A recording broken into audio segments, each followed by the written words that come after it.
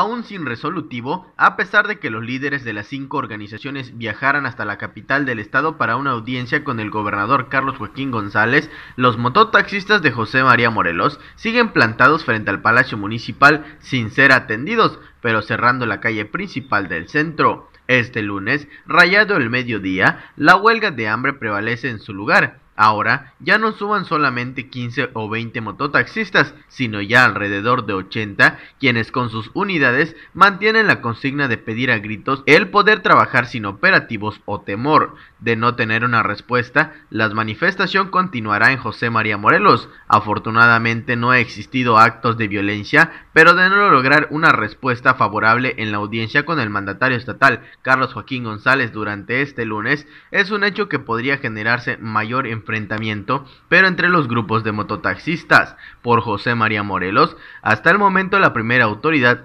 no ha dado cara para buscar alternativas de solución al conflicto. Los mototaxistas se mantendrán en pie de lucha a pesar de las inclemencias del tiempo, exponiendo a niños y sin alimentos suficientes. Para Canal 10 informó Juan Ojeda.